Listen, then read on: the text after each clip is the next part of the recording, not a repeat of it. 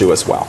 All right, you guys, let's move on from health care. We know that there's a uh, there's a vote later today in the House. The Senate has said it's not going to deal with it. It's just going to kick it out. So even if somehow there had been an agreement in Congress, the president would have vetoed it anyway. Anyway, so it'll yeah. be interesting to see, though, again, whether these issues get talked about. By the way, I read an a really intriguing statistic this morning. Um, and maybe you can, so let's stay on this for just a second. Maybe you can speak to this. And I want to try to find the number. All right, so uh, in the latest polling, which is very different from even a year ago or even six months ago, 40% of Americans say they want to see health care reform go away. 41% of Americans say they want to keep it in some form or fashion, not, not necessarily voting for what's there now, but some form or fashion. That's a complete split. That's, that's a tip to the side of keep it. Chris? Well, I, I, I- you know, as a social scientist, I, I, I would have to certainly look at um, what were the questions, how What was the the survey questions? designed, you know, those kinds of things. And I, it, it, it may in fact be an aberration. I, you know, I don't know because to have such a switch in Yeah. such a short period of time um, raises questions of methodology and all of those other kinds of things. And I how it don't was know. messaged Yeah. to them. Okay. Yeah, I, By I'm the not way, sure that that's accurate. strong opposition in uh, in the same Associated Press GFK poll found uh, it's still at 30 percent. So 30 percent of Americans who were polled said that they strongly are against it. Of that, 41 percent or so who who don't like it. All right. Now here's the other number. And, and Richard, I'm I'm curious to know what happened here. Uh, as for the repeal, only about one in four say that they would do, do away with the law completely. Among Republicans, support for the repeal has dropped sharply from 61% after the elections to 49% now. Do you guys give yourselves a pat on the back for that?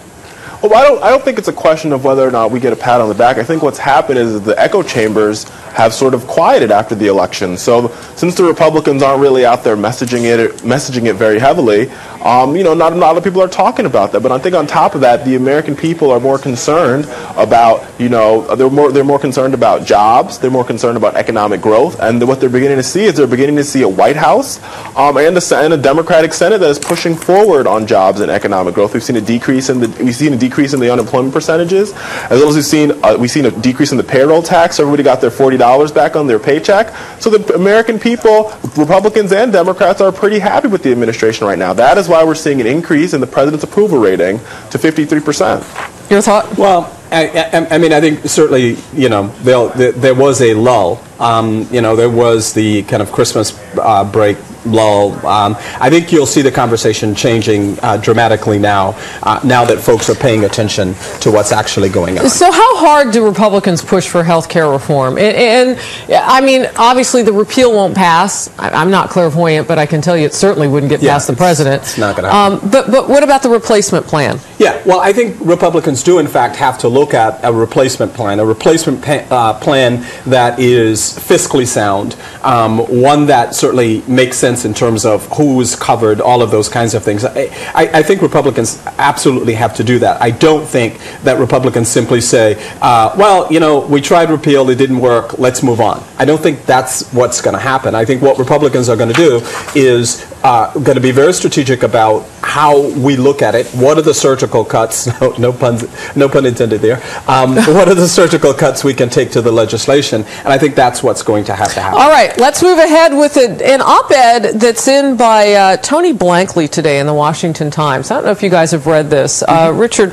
It says that that the GOP should avoid being timid in 2011. Now, I know you're a strategist for the opposite team, for the Democrats, but if you could just maybe put on just your game hat, no matter who you're playing for.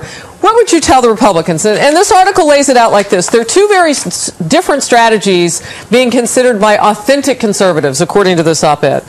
Uh, number one, attempt to govern from their majority in the House and actually try to start the process of reducing the cost of entitlements, most conspicuously Social Security and Medicare. Yeah. Um, as a path back to prosperity and good jobs. Or option number two, behind door number two, recognize that the GOP cannot govern without holding the White House, and that therefore they should not touch entitlements but merely tinker with discretionary spending and frame issues for 2012. In other words, do they go strong or wait? Um, if I were the Republican image consultant, and I won't give away all the goods because that means that we'll be in trouble in 2012. But I think I think the key for us, I think the key for the Republican Party, um, image-wise, is to tone down the rhetoric and to tinker with discretionary spending, like the like the like the article says, um, and you know just work on framing messaging and beginning to create frames for 2012. Because the Republicans are really good at messaging, they are really good at creating the echo chamber. The key is to tone down the rhetoric and create a smart echo chamber that will work for them in a lot of the swing states. I think you put folks like Sarah Palin to bed. Um, and you find folks like the Mike Huckabees of this world, the Tim Pawlenty of the world to begin to articulate your messages. I mean, on top of that, they have more governor's mansions than we do, so they have a lot of governors they can use to articulate this message and this image of we're the party of fiscal responsibility. Look at what we've done so far in the past two years. Now give us control, give us the keys back so we can control the White House. Whether or not they should have the keys back is another question. But if I was a GOP strategist, that'd be my suggestion. Well, and you know what? I know you don't want to give too much away, but it's interesting. What does that exploit in the Democratic Party? Oh, just tell us. um, I won't say too much, but I would say I think what, what the one the one problem that we face as, as Democrats, and the reason why I, I, do what I do is because we're not the best messengers as we should be, um, and we definitely need to work on our messaging and creating our frames. Where the Republicans are better at creating their frames than we are at creating our frames. So if they get a head start at creating their frames going into 2012, um, it'll put us in. Uh, we'll be sort of be behind the buck a little bit. Your thoughts? Well, this is exactly why uh, Republicans don't take um, strategy advice from Democrats. Um, look, uh, first and foremost, uh, yeah, of course, you would want us to quote unquote turn down the rhetoric. In terms of what Democrats want us to do, is they want us to uh, tone down the quote unquote rhetoric. Well, um, the quote unquote rhetoric is in fact strategy. The quote unquote rhetoric is in fact messaging, which you've just admitted that in fact um, Democrats are horrible at doing. So, from the standpoint, uh, in terms of turning down the quote unquote rhetoric, first of all, I don't know what rhetoric it is that you're talking about specifically, but I think if you look at the base of the Republican Party, I think if you look at conservatives, that in fact conservatives would say, um, you know, to hold folks accountable, to keep feet to the fire, not to quote unquote turn down the rhetoric, um, whatever that is. Uh, last well, thoughts from you, Richard, and then we are going to lose you off the bird, but we got you back for now. Well, I, you know, when I when I mean when I say the word "turn on the rhetoric," I mean the the hate, the rhetoric that is being issued by Sarah Palin and the members of the far right. Sarah Palin has the lowest approval ratings of all times right now because people don't like the rhetoric. That rhetoric just doesn't seem to work. The hate speech, the you know, the comparing President Obama to Hitler, that type of stuff doesn't bode well. It doesn't poll well for it doesn't poll well for Republicans. It really doesn't poll well for Democrats. American people just don't like when you go negative. So the strategy is to play nice with the president so that you guys guys can get a chance to sort of make some gains. If not, they, you guys only have one chamber. We have two. We have the chamber and we have the White House. Well, Ooh, okay. Yeah. yeah. Uh, I, you had. uh oh. Um, we got to let you go. Richard?